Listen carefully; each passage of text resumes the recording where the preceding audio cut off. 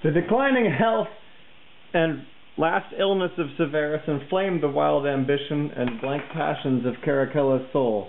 Impatient of any delay or dimission of empire, division of empire, he attempted more than once to shorten the small remainder of his father's days. Placed in the same situation, he experienced how easily the rigor of the judge dissolves away in the tenderness of the parent. Threatened, but he couldn't punish. And this last instance of mercy was more fatal to the empire than a long series of cruelty. I'm going to kill you. I forgive you.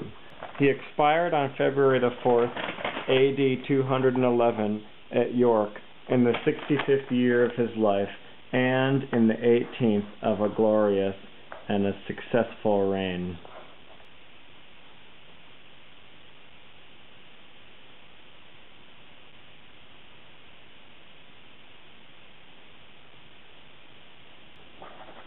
And that's his coffin.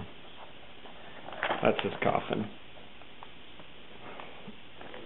But the more obedient troops, mindful of their open allegiance, resisted the solicitations of Caracalla and proclaimed both brothers emperors of Rome.